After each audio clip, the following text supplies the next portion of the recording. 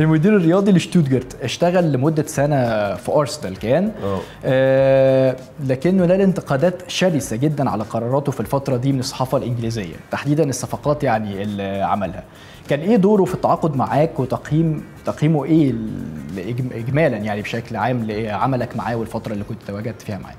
هو شتوتجارت ب- بصفة عامة نادي كويس جدا وبيدي فرص لعيبة صغيرة كتير. مثل انتات برضو شاب في نفسه كده شوية إن هو بيتكلم مع اللعيبة عادي مفتوح وهو يعني يعتبر من أعلى الناس في النادي. فأنت لما العلاقة تكون كويسة معاه تقدر تتكلم بصراحة وتقول كل حاجة جواك. طبعا لما كلمني كان هدفي إن أنا جاي ألعب وأساعد الفرقة هم كانوا محتاجيني. طبعا عدينا برضو في فترة صعبة الفترة اللي فاتت إن إحنا كنا بنلعب على الهبوط.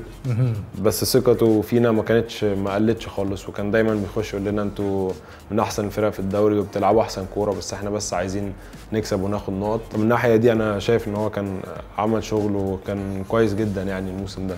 هاخد من إجابتك سؤال تاني. آه شتوتجارت من الأندية العريقة جدا في ألمانيا بس لقيناه بيصارع على الهبوط السنة دي وده بقى الحال المعتاد في ألمانيا مش شتوتجارت بس. آه. يعني بنشوف أندية عريقة جدا زي تشالكا زي هامبورج كلها أندية هبطت وصعدت ومنها اللي لسه ما صعدش وما إلى وفيردر بريمن. فازاي الإدارة كانت الأول رغم كل ده واثقة في ماتاراتزو المدرب؟ وإيه اللي بيخلي الأندية الكبيرة كده في ألمانيا توصل للحال ده في الفترة دي؟ الناس من بره بتبقى شايفة حاجة مش شايف اللي بيحصل جوه النادي ف. شتوتجارت طبعا فريق كبير جدا بس الفترة اللي فاتت آخر خمس ست سنين ما كانتش ماشية معاه جدا. كانوا مواجهين مشاكل كبيرة. طبعا في حاجات كتير الناس ما تعرفش عنها. بس شغل المدرب في التمرين وفي الماتشات بيبان من اللعيبة والناس اللي جوه النادي اللي شايفة إيه اللي بيحصل كل يوم. والمدرب بيدي قد إيه للنادي. لو حد اتفرج على الماتشات برضو كنا بنلعب بشكل كويس جدا مع إننا كنا تحت خالص كنا بننافس عادي مع أي فرقة. كنا بن... آخر ماتش حتى أو قبل آخر ماتش لعبنا البايرن وكنا 1-0 يعني جبنا الجون قبلهم.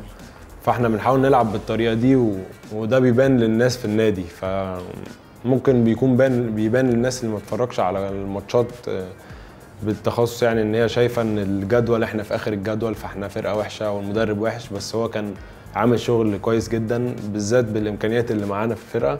كنا بنلعب بطريقة كويسة جدا. ف بالنسبة لي يعني مش شايف حد أحسن ممكن يعمل الموضوع ده وعشان كده كان قاعد في النادي إن هو عنده فكرة وعايز يطبقها.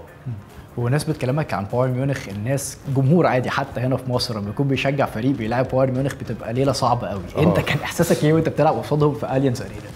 طبعا بايرن أجمد فرقة في الدوري وكله عارف كده. أنت بتبقى رايح حاطط في دماغك إنك عايز تكسب. حاجة صعبة جدا إنك طبعا. تكسب قدام البايرن بالذات إن هم عندهم لعيبة كتير و... واللعيبة كلها جامدة. ف أنت رايح حاطط في دماغك إنك هتكسب. لو خسرت عادي بتحصل يعني. مش أنت أول مش واحد أول واحد، خسرت آه. مش أول واحد خسرت 4 5 0 برضه. بالظبط.